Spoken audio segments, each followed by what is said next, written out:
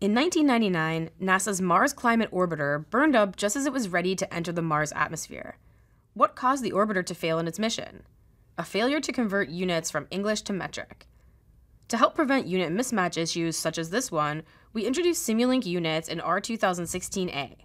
This tool gives you the power of unit visualization, consistency checking, and conversion. Let's use the fuel control system model as an example. Units can be specified on input ports and output ports. Here we specify units on three input ports, and the units propagate and display on the signal lines. If you specify kilograms per second at the fuel rate controller's output port, Simulink will automatically convert to grams per second at the engine gas dynamics input and report a warning. You can quickly fix the warning by adding a unit conversion block, which converts kilograms per second to grams per second. Simulink also does unit consistency checking.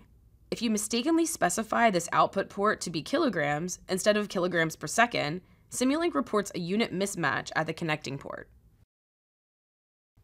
To see the full list of units supported by Simulink, use the Show Units List MATLAB command. This displays the full list of built-in units and their definitions. You may have noticed that kilograms per second is not on this list. That's because Simulink supports expressions of units formed from the units in this list and SI unit prefixes. Similarly, you can construct other unit expressions, such as kilometers per hour, meters per second, or newton meters.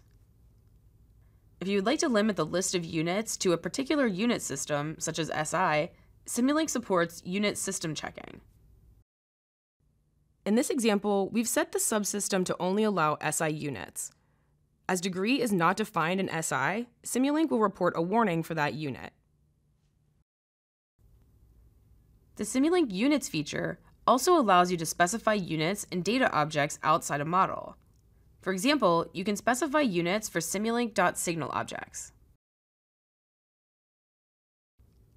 In summary, you can specify units on input and output ports, signal objects, bus elements, parameter objects, and stateflow data ports.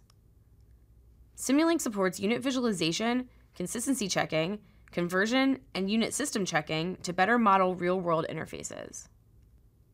Thanks for watching! To learn more about units in Simulink or to download a trial to try some examples for yourself, check out the links below.